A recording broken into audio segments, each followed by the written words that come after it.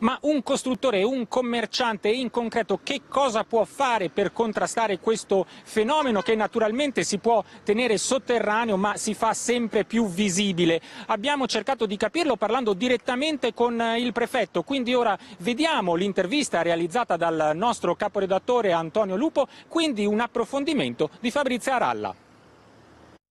Termoli, la città, il comprensorio, aree sempre relativamente tranquille, comunque restie alle infiltrazioni di carattere malavitoso, una forte barriera sociale, sempre l'attività intensa da parte delle forze dell'ordine che prosegue, poi però qualcosa più o meno improvvisamente è cambiata. Cosa? Lo abbiamo chiesto al prefetto di Campobasso, Cappetta.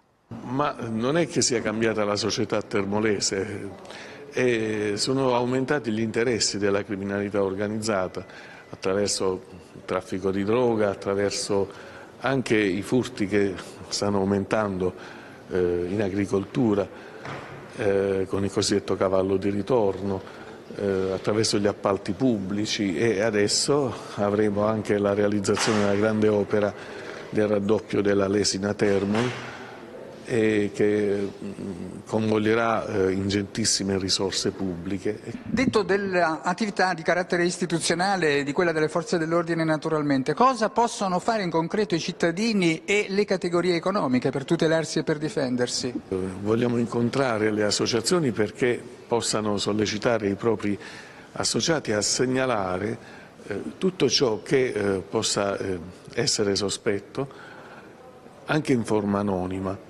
segnalare tutto ciò che non va per aiutare, per coadiuvare le forze di polizia che stanno profondendo il massimo sforzo.